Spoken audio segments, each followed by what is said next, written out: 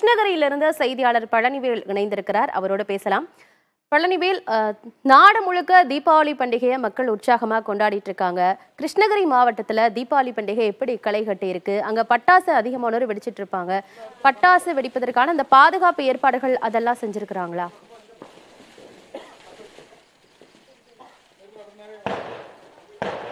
நிச்சயமாக ஆனந்தி நாடு முழுவதுமே தீபாவளி பண்டிகை இன்று வெகு விமர்சையாக கொண்டாடப்பட்டு வருகிறது.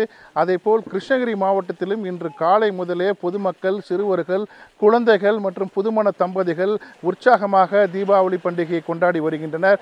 குறிப்பாக பாதுகாப்பு வசதியை பொறுத்தவரை தீயணைப்புத்துறை மற்றும் காவல்துறை சார்பில் தொண்ணூ பாதுகாப்பு வசதி பலப்படுத்தப்பட்டிருக்கு. குறிப்பாக பட்டாசு வெடிக்கும் போது சிறுவர்களை கவனமாக பார்த்து கொள்ள வேண்டும். அருகே தண்ணீர் மணல் போன்ற வைத்துக் கொள்ள வேண்டும் என்ற எச்சரிக்கையானது விடுக்கப்பட்டிருக்கிறது.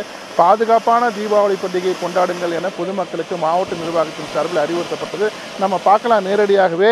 இங்கு நம்ம கிருஷ்ணகிரியில் இருக்கக்கூடிய ஒரு குடும்பத்தினர் ஒன்றாக இணைந்து அவர்கள் குழந்தைகள் சிறுவர்கள் பெண்கள் என ஒன்றாக இணைந்து அந்த தீபாவளி பண்டிகையை கொண்டாடி வருகின்றனர். உற்சாகமாக பட்டாசுகளை வெடித்து அவர்கள் தங்களது மகிழ்ச்சியான அந்த தீபாவளி பண்டிகையை வரவேற்று உற்சாகமாக விளையாட பட்டாசுகள் வெடித்துக் கொண்டிருக்கிறார்கள். இதே போல தான் மாவட்டம் முழுவதுமே பார்த்தீங்கன்னா ஏராளமான பொதுமக்கள் காலை முதலே குறிப்பாக தலை தீபாவளி கொண்டாடக்கூடிய அந்த புதுமண தம்பதிகள் அவர்கள் காலையில் எழுந்து எண்ணெய் தேய்த்து ச- பெற்றோர்களை வணங்கி சாமி கும்பிட்டு புத்தாடைகளை அணிந்து பட்டாசுகளை வெடித்து உற்சாகமாக கொண்டாடினர். இதே போல்தான் மாவட்டம் முழுவதுமே அந்த உற்சாகமான தீபாவளி கொண்டாட்டமானது நடைபெற்று கொண்டிருக்கிறது.